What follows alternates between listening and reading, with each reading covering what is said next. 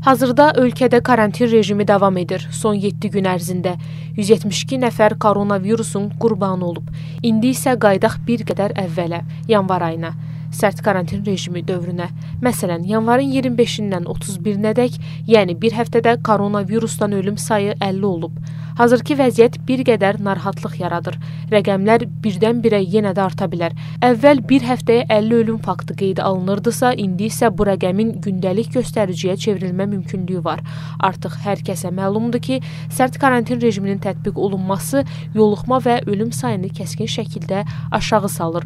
Milli Məclisin Səhiyyə Komitəsinin üzvü, millət vəkili Soltan Məmmədov bu məsələyə münasibət bildirərək qeyd etdi ki, sərt karantin rejiminin tətbiq olunmasının ayrı-ayrı vətəndaşlardan ilk olaraq dövlət əleyhinədir. Ona görə ki, qapadılmalara getmək hər şeydən əvvəl iqtisadiyyatımıza mənfi təsir göstərir. Biz bu vəziyyəti saxlaya bilsək insanlar Yəni müəyyən qədər bu maskadır, məsafəli saxlanması, buna əməl eləsək, rəqəmi heç olmasa stabil saxlasa, qoymasaq ki, bu birdən-birə yenə də qalxsın yuxarı, onda biz elə belə qaydada gedə bilərik. Mən əminəm ki, onu biz eləyə bilərik. Çünki bu da qaydalar yaxşıdır ki, biz o ə, karantin qaydalarını zəifləyəndə biz tam yığışdırmırıq heç nəyi. Biz saxlayırıq hər şeyi. İnsanlar indi şikayət edir ki, nə üçün bayırda bir çox bayırda maska geyinirik. Bu nədir? Açıldılar, onu da açardılar. Onu da açsaq, dayanacaqlarda insanlar toplaşır, restoranlarda. Bunu açsaq, bu rəqəm birdən-birə yuxarı qalxa bilər. Amma görürsünüz 1600, 1700, 1800 müəyyən qədər bunu saxlamışıq.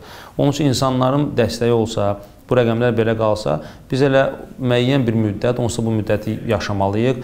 O rəqəmə çatana qədər peyvənd proqramı bir yandan, yoluxub sağalmalanlar bir yandan bu rəqəmlər o kollektiv immunitet səviyyəsinə gətirib çıxaracaq. Çünki bu qaçılmazdır. Millət vəkili həmçinin bildirdi ki, insanların profilaktik qaydalara əməl etməsi ilə birgə vaksinasiya prosesinin də həyata keçirilməsi virusla mübarizəmizi gücləndirəcək. Qeyd edək ki, vaksinasiya prosesi ölkəmizdə yüksək templə davam edir. Artıq yarım milyondan çox vətəndaşımız peyvənd olunub.